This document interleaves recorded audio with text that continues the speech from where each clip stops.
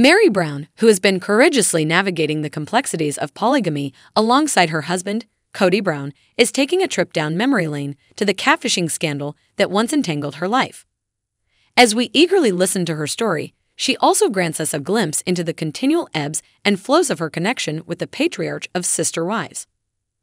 As the intricate dynamics of their relationship continue to unfold on the popular reality series, Meri delves into a pivotal chapter from her past that still carry significance.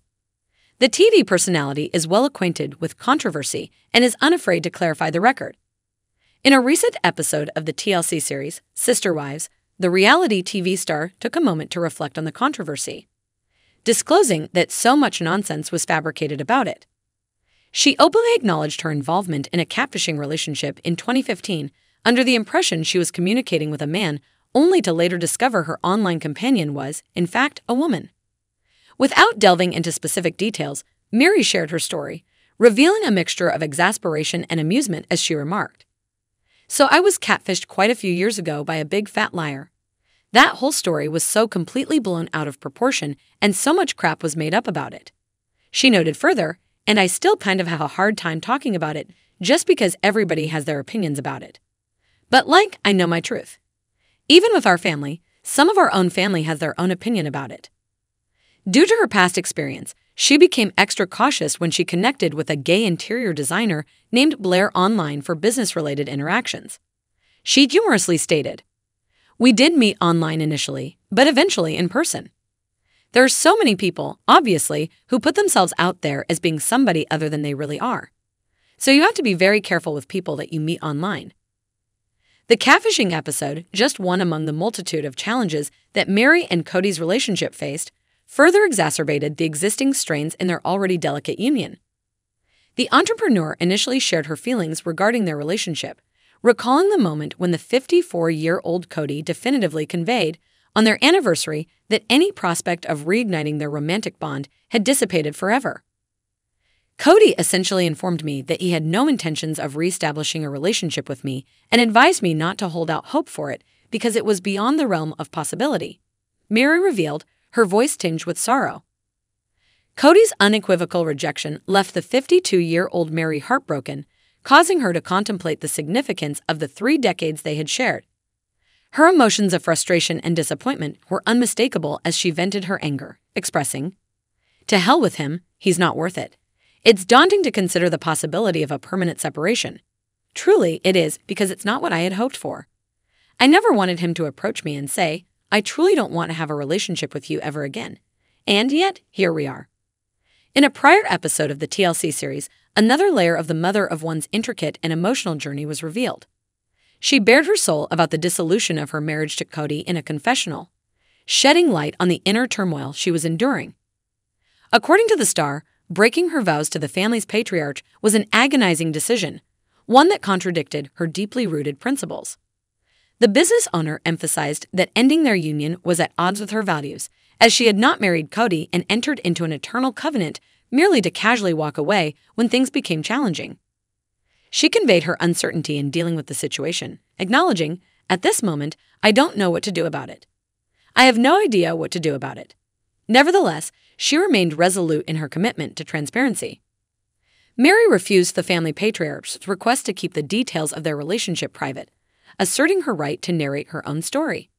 She also outlined two possible paths she envisioned for her relationship with Kody. I can either continue living as I have for the past eight years or so, which is to be an incredibly strong, independent individual officially married to someone but emotionally disconnected, right? Or I can end it. I can take the necessary steps to move forward and bring closure to it. Robyn, the star of Sister Wives, has brought herself to be perceived negatively in the reality TV industry. Her reputation has now changed, and she is now thought of as the main cause of the Brown family's breakup. Fans have often called out the celebrity, who has therefore faced criticism for a variety of reasons. Fans were shocked to learn that Robyn was utilizing children to generate positive publicity for her brand in the midst of all of this. Even that she was exploiting the brown children was alleged by some users. What exactly did they see, though? Is that accurate? Is Robyn's actions truly her own? Robyn has been criticized by Sister Wives fans on several occasions. Because she was the reason Christine, Janelle, and Meri left the family, she has faced criticism. Therefore, it is evident that the celebrity's image isn't favorable in the eyes of her audience. Robyn appears to be working hard, nevertheless, to contain the damage and improve her reputation. Robyn recently shocked everyone by hosting Truly, Christine's daughter, to her birthday party.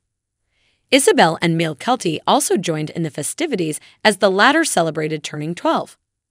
Following this episode, a Reddit discussion quickly emerged to debate the true motive of Robyn's relocation. Robyn was allegedly exploiting brown children as content, according to the original poster. It went on to highlight how she and Kody refused to let the cameras take many pictures of their children or their home.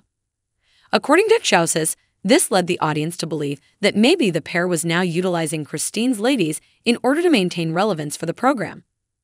Many of the Sister Wives audience members accepted the idea.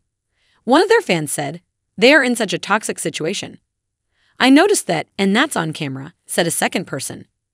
An additional explanation was given, saying that when Robyn and Kody are with their children, there is typically no content. It seems like they always get their vaccinations when someone comes to visit. The majority of people believe Robyn used Christine's daughter in the most recent episode because of this.